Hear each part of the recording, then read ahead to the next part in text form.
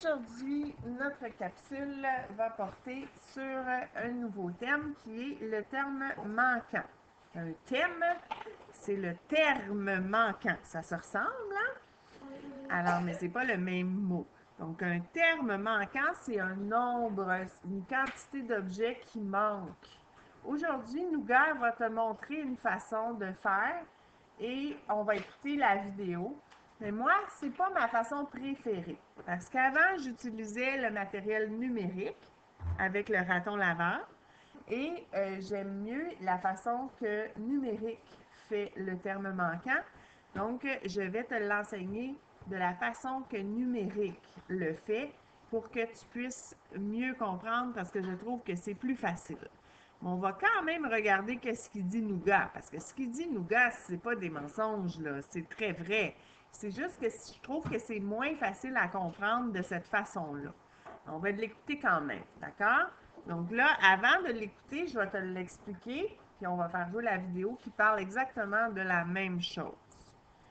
Alors, donc, Nougat, qu'est-ce qu'il nous dit? Il nous dit que dans une addition, ça arrive qu'on connaît la réponse, mais il manque un des deux termes de l'addition.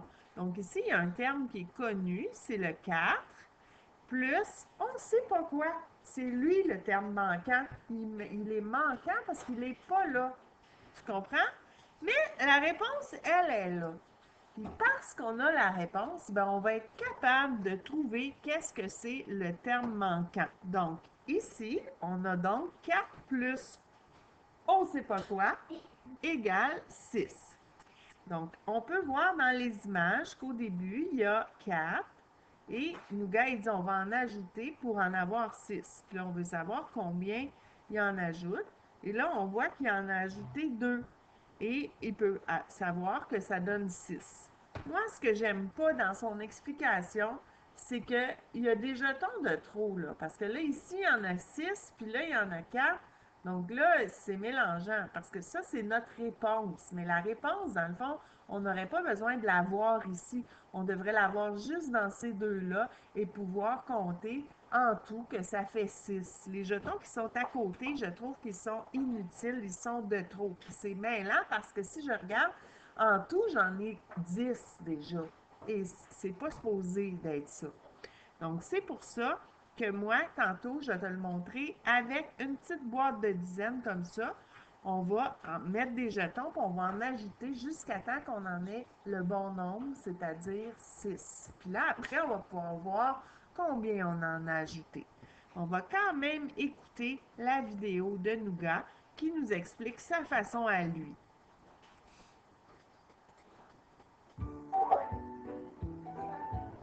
Salut! Aujourd'hui, nous allons apprendre à trouver le terme manquant dans une addition. Pour trouver le terme manquant, je place d'abord 6 jetons. Ils représentent la somme. Puis, je place 4 jetons. Ils représentent le terme connu. Je cherche combien de jetons il faut ajouter à 4 pour obtenir 6. J'ajoute les jetons qui manquent en comptant à partir de 4. 4, 5, 6. J'ai ajouté deux jetons. Le terme manquant est donc 2. À toi de jouer. Donc maintenant, on va faire à ma façon à moi. Ben, en fait, c'est même pas ma façon à moi, c'est la façon de numérique, qui est l'autre personnage de mathématiques que j'utilisais avant. Mais j'aime mieux Nougat, sauf pour ça. Pour ça, je trouve que numérique, il faisait d'une façon plus facile. Donc là, on va faire la même addition. On va faire 4 plus je ne sais pas quoi égale 6. Donc, ce qu'on fait, c'est qu'on met des jetons. On commence par les jetons blancs. On met 4 jetons blancs, comme on fait toujours. Et là, on va ajouter des jetons jusqu'à temps qu'il y en ait le bon nombre, c'est-à-dire la réponse qu'on cherche. C'est quoi la réponse qu'on cherche? c'est 6. Donc là, j'en ai 4. Et les jetons que je vais ajouter, je vais les faire colorier à l'intérieur. Comme ça, on va voir la différence entre ceux qu'il y avait déjà et ceux qu'on a ajoutés. Tu comprends? Là, je ne sais pas si ça va être un peu mêlant ce que je suis en train de dire parce que j'ai arrêté la vidéo pour expliquer quelque chose en classe. Mais bon, alors on a mis 4 parce que c'était notre terme connu. Et là, on va en ajouter d'une autre couleur en comptant à partir de 4. Comme quand on joue à un jeu, si on est sur le 4, on ne répète pas les chiffres, on continue à compter. Donc, on a dit 4. Donc là, on veut se rendre jusqu'à combien? Jusqu'à 6, parce que c'est notre réponse qu'on veut. Donc, on, a dit 4. Et là, si je mets ça, je vais dire quoi? 5, 6. Donc là, j'ai mon 6. Et ça me permet de voir que les noirs, ceux qui sont coloriés, il y en a combien? Deux. Et c'est mon terme manquant. Tu trouves pas que c'est facile de cette façon-là? Oui, hein? Puis on n'a pas besoin d'avoir d'autres jetons à côté qui servent à rien comme Nougat est fait. Donc là, ce qu'on va faire, c'est que je vais transporter ma petite boîte en bas. Viens-t'en avec moi, parce qu'on va aller faire le numéro en bas, qui est juste ici. Donc là, je vais juste enlever mes jetons de tantôt parce que ça, c'était pour faire 4 plus 2. Euh, oui, c'est ça. 4 plus quoi égale 6. Là, ici, on a 5 plus quoi égale. Puis là, je ne sais pas c'est combien. Il va falloir que tu les comptes parce que moi, je ne sais pas. Je ne les ai pas comptés. On va les compter. Alors, il y en a combien? Il y en a 7. Donc là, on sait déjà que le terme connu, c'est 5. Donc, si tu avais une petite boîte comme moi, tu mettrais 5 jetons blancs ici. Pour, pourquoi 5? Parce que c'est notre terme connu. Donc là, on va aller en ajouter des noirs pour qu'il y en ait combien? 7. Donc là, on a 5. Quand on va mettre le jeton ici, on va dire quoi? 6 et on arrête là. Pourquoi on arrête là? Parce qu'on en a sept, c'est ça qu'on voulait. Donc là, on a trouvé notre terme manquant. C'est quoi notre terme manquant? C'est deux. Donc, on va aller dessiner deux jetons ici.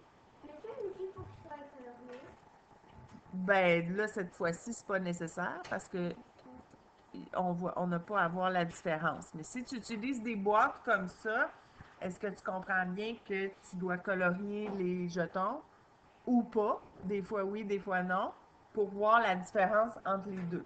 La différence entre ceux qui étaient déjà là et ceux qu'on a ajoutés. C'est bon? Tu as dessiné tes deux jetons? Oui. Bon, et ben là, je vais enlever mes jetons pour qu'on puisse faire le prochain. Le prochain, c'est bizarre parce que mon terme connu, il n'est même pas au début. Il est en deuxième. Mais tu sais quoi? Ça ne change rien. C'est quand même notre terme connu. Donc, on va aller mettre un jeton blanc au début. Et on veut savoir quelle doit être notre réponse. Jusqu'à combien on compte. Donc, on va compter les jetons qui sont ici. Mais tu n'as même pas besoin de compter parce qu'ils sont placés comme un dé. Alors, on reconnaît quel nombre? 5. On reconnaît le nombre 5. Donc, ce qu'on veut, c'est arriver à 5. Donc, si je compte en mettant des jetons noirs, je vais dire quoi? Non, je ne vais pas dire 1, je vais dire 2, parce que lui est déjà là. Lui, c'est quoi? C'est celui-là. C'est notre terme connu qu'on a déjà placé et on va continuer à en ajouter en comptant plus que 1. OK? Parce que là, on a 1. Donc, si je mets lui, je vais dire 2, 3, 4, 5. Et j'arrête là. Pourquoi j'arrête là? Parce que c'est ça que je voulais, 5. Puis là, j'en ai 5. Donc là, je viens de découvrir quel est mon terme connu, euh, mon terme inconnu, mon terme manquant. Bon, j'ai tout déplacé. OK, j'ai replacé. Donc, mon terme manquant, c'était quoi? C'était 4, parce que c'est les jetons qu'on vient d'ajouter. Donc là, on va aller dessiner quatre jetons juste ici.